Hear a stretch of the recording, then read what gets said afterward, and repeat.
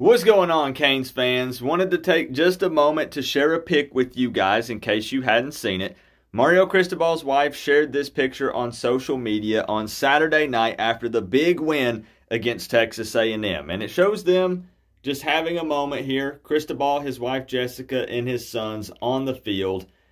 And you know, a lot of times people just really forget that Mario Cristobal is human he has a family and he's sacrificing a lot of time, you know, time that he could be making memories with his family. And I get that he's making the big bucks, but I just want people to remember that. Nobody cares more about this program, in my opinion, than Mario Cristobal. And I can almost bet you that he's the hardest working guy in the room. He's probably the first one there and the last one to leave. And I want to be on here saying, I trust this man.